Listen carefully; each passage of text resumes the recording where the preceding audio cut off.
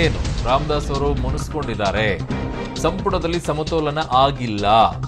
ಈ ಮಾತನಾಡ್ತಾ ಇದ್ದಾರೆ, ಆ ಅಸಮಾಧಾನ ಮೈಸೂರು ಜನರಿಗೆ ಇದೆ ಅನ್ನುವಂತ ಮಾತನಾಡ್ತಾ ಇದ್ದಾರೆ. ನಾನು ಸಿಎಂ ಬೊಮ್ಮಾಯಿ ಭೇಟಿ ಮಾಡಲ್ಲ ಅಂತ ಹೇಳ್ತಾ ಇದ್ದಾರೆ, ಬಹಿರಂಗವಾಗಿ. ಸೊ ಪಬ್ಲಿಕ್ ಟಿವಿಗೆ ಕೆ ಆರ್ ಶಾಸಕ ರಾಮದಾಸ್ ಪ್ರತಿಕ್ರಿಯೆಯನ್ನು ಕೊಡ್ತಾ ಇದ್ದಾರೆ. ನನ್ನನ್ನು ಸಿಎಂ ನನ್ನ ಕ್ಷೇತ್ರಕ್ಕಷ್ಟೇ ಸೀಮಿತಗೊಳಿಸಿದ್ದಾರೆ. ನಾನು ಅಷ್ಟೇ ಇರ್ತೀನಿ ಸಿಎಂ ನನ್ನ ಕ್ಷೇತ್ರಕ್ಕೆ ಬಂದಿಲ್ಲ ಅವರು. ಸೊ ನನ್ನ ಕ್ಷೇತ್ರಕ್ಕೆ ಬಂದರೆ ನಾನು ಹೋಗ್ತೀನಿ. ನನ್ನ ಕ್ಷೇತ್ರಕ್ಕೆ ಸಿ ಎಂ ಬಂದಿದ್ದರೆ ನಾನು ಭೇಟಿ ಆಗ್ತಾ ಇದ್ದೆ. ನನ್ನ ಅಸಮಾಧಾನವನ್ನು, ನನ್ನ ಕ್ಷೇತ್ರಕ್ಕೆ ಸಿ ಎಂ ಬಂದಿದ್ದರೆ ನಾನು ಹೋಗ್ತಾ ಇದ್ದೆ. ನನ್ನ ಅಸಮಾಧಾನ ಬಗ್ಗೆ ಸಿ ಎಂಗೆ ಪತ್ರ ಬರೆದು ತಿಳಿಸ್ತೇನೆ ಅನ್ನೋ ಮಾತನ್ನು ಹೇಳಿದ್ದಾರೆ. ಸಂಪುಟದಲ್ಲಿ ಸಮತೋಲನ ಆಗಿಲ್ಲ ಅನ್ನೋ ಮಾತನ್ನು ರಾಮದಾಸ್ ಅವರು ಆಡಿದ್ದಾರೆ. ಬೊಮ್ಮಾಯಿ ಸಿಎಂ ಆದ ನಂತರದಲ್ಲಿ ಮೊದಲ ಬಾರಿಗೆ ಮೈಸೂರಿಗೆ ಬಂದಿದ್ದಾರೆ. ಅವರ ಜೊತೆಯಲ್ಲಿ ಅನೇಕ ಸಚಿವರುಗಳು ಕೂಡ ಬಂದಿದ್ದಾರೆ.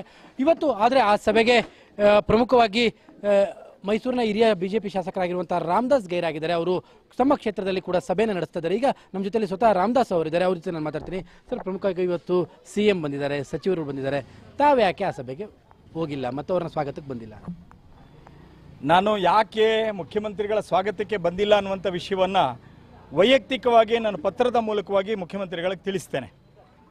ಎರಡನೇದು, ನನಗೆ ಪೂರ್ವ ನಿಶ್ಚಿತವಾದಂತಹ ಕಾರ್ಯಕ್ರಮ ಮುಂಚೆನೇ ಆಗಿತ್ತು. ಅಂದರೆ ನನ್ನ ಬೂತಿನ ಅಧ್ಯಕ್ಷರ ಮನೆಯಲ್ಲಿ ನಾವು ಬೋರ್ಡ್ಗಳನ್ನು ಹಾಕೋದು ಫ್ಲ್ಯಾಗ್ ಹಾಕೋದು ಜೊತೆಗೆ ಅವರು ಸಾರ್ವಜನಿಕ ಪೇಜ್ ಪ್ರಮುಖರ ಸಮ್ಮುಖದಲ್ಲಿ ಪ್ರಮಾಣವನ್ನು ಸ್ವೀಕಾರ ಮಾಡುವಂತಹ ಒಂದು ಕಾರ್ಯಕ್ರಮವನ್ನು ಪೂರ್ವ ನಿಶ್ಚಯ ಆಗಿತ್ತು. ಈಗ ಸಹಜವಾಗಿ ನನ್ನ ಕಾರ್ಯಕ್ಷೇತ್ರವನ್ನು ಕೆ ಆರ್ ಕ್ಷೇತ್ರಕ್ಕೆ ಸೀಮಿತ ಮಾಡಿರೋದ್ರಿಂದ ಇದೇ ನನ್ನ ದೇಶ, ಇದೇ ನನ್ನ ರಾಜ್ಯ. ಹಾಗಾಗಿ ನನ್ನ ರಾಜ್ಯದಲ್ಲಿ, ನನ್ನ ದೇಶದಲ್ಲಿ ನಾನು ಕೆಲಸವನ್ನು ಮಾಡ್ತಾ ಇದ್ದೀನಿ. ಅಲ್ಲ, ನೀವೇನಾದರೂ ಬೇಸರಗೊಂಡಿದ್ರೆ ಯಾಕಂದ್ರೆ ನೀವು ಸಚಿವ ಸ್ಥಾನದ ಆಕಾಂಕ್ಷಿ ಆಗಿದ್ರಿ ಹಾಗಾಗಿ ಆ ಬೇಸರ ತಮ್ಮಲ್ಲಿದೆ ಅಂತ. ಅಲ್ಲ, ನಾನು ಬೇಸರದ ಪ್ರಶ್ನೆನೇ ಇಲ್ಲ.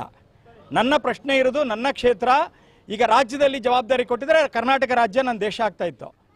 ನನಗೆ ಕೊಟ್ಟಿಲ್ಲದೆ ಇರೋದ್ರಿಂದ ಕೆ ಆರ್ ಕ್ಷೇತ್ರದಲ್ಲಿ ಇರಪ್ಪ ಅಂತ ಹೇಳಿರೋದ್ರಿಂದ ಆದೇಶವನ್ನು ಪಾಲನೆ ಮಾಡಿದ್ದೀನಿ. ನನ್ನ ಕ್ಷೇತ್ರದಲ್ಲಿ ಪ್ರತಿಯೊಂದು ಬೂತಿನ ಅಧ್ಯಕ್ಷನ ಮನೆಗೆ ಹೋಗಿ ಕೇಂದ್ರ ಮತ್ತು ರಾಜ್ಯ ಸರ್ಕಾರಗಳ ಯೋಜನೆಯನ್ನು ಮನೆ ಮನೆಗೆ ತಲುಪಿಸುವಂಥ ಕೆಲಸ ಏನಿದೆ, ಅದಕ್ಕೆ ನಾನು ನಿರತನಾಗಿದ್ದೀನಿ. ನಾನು ಯಾಕೆ ಬಂದಿಲ್ಲ ಅನ್ನುವಂಥ ವಿಚಾರಕ್ಕೆ ಸಂಬಂಧಪಟ್ಟಾಗೆ ಮುಖ್ಯಮಂತ್ರಿಗಳಿಗೆ ಒಂದು ಪತ್ರವನ್ನು ಬರೀತೇನೆ. ಅದೇ ಎಷ್ಟು ದಿನದಲ್ಲಿ ಆ ಪತ್ರ? ಅಲ್ಲ ಇನ್ನೊಂದು ಮೂರ್ನಾಲ್ಕು ದಿವಸದಲ್ಲಿ ಬರೆದು ನಾನೇ ಅವರಿಗೆ ವೈಯಕ್ತಿಕವಾಗಿ ಕೊಡುವಂತ ಕೆಲಸವನ್ನು ಮಾಡ್ತೇನೆ. ಅಲ್ಲ ಈಗ ಇರುವಂಥ ಪ್ರಶ್ನೆ ಯಾಕಂದ್ರೆ ಅವರು ಮೈಸೂರಿಗೆ ಬಂದಿದ್ದಾರೆ ಅನೇಕ ಸಚಿವರುಗಳಿದ್ದಾರೆ. ತಾವು ಹಿರಿಯ ಸಚಿ ಶಾಸಕರಿದ್ದೀರಿ ಮತ್ತು ಮಾಜಿ ಸಚಿವರಿದ್ದೀರಿ. ತಾವು ವೆಲ್ಕಮ್ ಮಾಡುವಂಥದ್ದು ನಿಮ್ಮ ಪಕ್ಷ ದೃಷ್ಟಿಯಿಂದಲೂ ಕೂಡ ಅದು ಒಂದು ಬೆಳವಣಿಗೆ ಆಗ್ತಿತ್ತು ಒಳ್ಳೆ ಬೆಳವಣಿಗೆ. ಖಂಡಿತ ಅವರು ಮೈಸೂರು ಮಹಾನಗರಕ್ಕೆ ಬಂದಿದ್ದಾರೆ. ನನ್ನ ಜವಾಬ್ದಾರಿ ಇರುವಂಥದ್ದು ಕೆ ಆರ್ ಕ್ಷೇತ್ರದೊಳಗೆ ಏನಾರು ಅವ್ರು ಬಂದಿದ್ದಿದ್ರೆ ಆಗ ನನ್ನ ಜವಾಬ್ದಾರಿ ಇತ್ತು ಓಲಗ ಸಮೇತ ನಾನು ಕರ್ಕೊಂಡ್ಬರ್ತಾ ಇದ್ದೆ.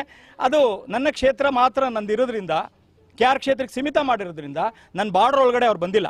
ಹಾಗಾಗಿ ನನ್ನದೇನಿದೆಯೋ ಅಷ್ಟು ಕೆಲಸವನ್ನು ನಾನು ಮಾಡಿದ್ದೀನಿ. ಅಂದರೆ ಅವರೇ ಈಗ ನಿಮ್ಮನ್ನ ಕೆ ಆರ್ ಕ್ಷೇತ್ರ ನಿಮ್ಮ ದೇಶ ಅಂತ ಗುರುತಿಸ್ಬಿಟ್ಟಿದ್ದಾರೆ ಅಂತ. ಅಲ್ಲ ಸಹಜ. ಈಗ ಯಾವಾಗ ನನ್ನ ಕ್ಷೇತ್ರದ ಜನ ನನ್ನನ್ನು ಇಪ್ಪತ್ತಾರೂವರೆ ಸಾವಿರ ಮತಗಳ ಅಂತರದಲ್ಲಿ ಒಂದು ಪುನರ್ಜನ್ಮ ಕೊಟ್ಟಿದ್ದಾರೆ ನನಗೆ ಇಲ್ಲಿ.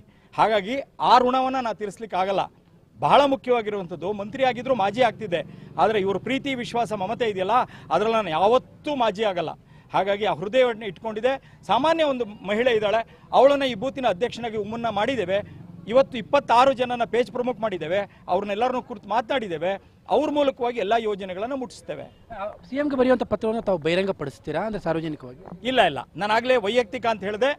ನಾನು ಬರೆಯುವಂಥ ಪತ್ರವನ್ನ ವೈಯಕ್ತಿಕವಾಗಿ ಸೀಲ್ಡ್ ಕವರಲ್ಲಿ ನಾನೇ ಅವರಿಗೆ ಕೊಡುವಂಥ ಕೆಲಸವನ್ನು ಮಾಡ್ತೇನೆ. ಬಸವರಾಜ ಬೊಮ್ಮಾಯಿ ಅವರು ಇವತ್ತು ಒಂದು ಬೆಳಿಗ್ಗೆ ಒಂದು ರಿಯಾಕ್ಟ್ ಮಾಡ್ತಾ ಇದ್ರು. ನಮ್ಮ ಜೊತೆ ನಿರಂತರವಾದ ಸಂಪರ್ಕದಲ್ಲಿ ರಾಮದಾಸ್ ಅವರು ಇದ್ರು.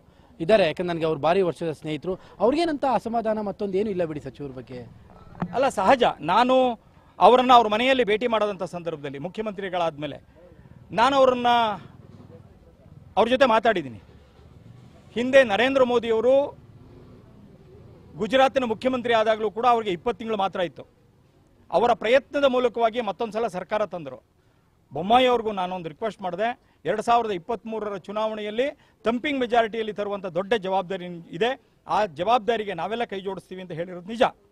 ಆದರೆ ಅವ್ರಿಗೂ ಕೂಡ ಗೊತ್ತಿದೆ ಯಾವ ರೀತಿಯಲ್ಲಿ ರಾಜ್ಯದ ವ್ಯವಸ್ಥೆಗಳು ಇದೆಲ್ಲ ನಡೆಸಬೇಕು ಅಂತ ರಾಜ್ಯದ ಹಿತ ಬಂದಾಗ ನಾನು ಅವರ ಜೊತೆಯಲ್ಲಿ ಕೈ ಜೋಡಿಸಿ ಕೆಲಸ ಮಾಡೋದಂತೂ ಸತ್ಯ ರಾಜ್ಯದ ಹಿತ ದೃಷ್ಟಿಯಿಂದ. ಇದನ್ನು ನಾವು ಒಂದು ಪ್ರತಿಭಟನೆಯ ಸ್ವರೂಪ ಅಂದರೆ ನಿಮ್ಮ ಪ್ರತಿರೋಧದ ಒಂದು ಸ್ವರೂಪ ಅಂತ ಅನ್ಬೋದು. ಅಲ್ಲ ನಾನು ಇದನ್ನು ಯಾವುದಕ್ಕೂ ಇಚ್ಛೆ ಪಟ್ಟು ಆಗಲೇ ಇಲ್ಲ ಅಂತ ಹೇಳಿ ನಾನು ಹೋಗುವಂಥವನಲ್ಲ ಆದರೆ ಮೈಸೂರು ವಿಭಾಗದನ್ನ ಸಮತೋಲನದ ವ್ಯವಸ್ಥೆಗಳು ಬಂದಾಗ ಜೋಡಿಸ್ಕೋಬೇಕು ಅಂತ ಹೇಳಿ ಮನವಿಯನ್ನು ಮಾಡುವಂಥದ್ದಂತೂ ಸತ್ಯ.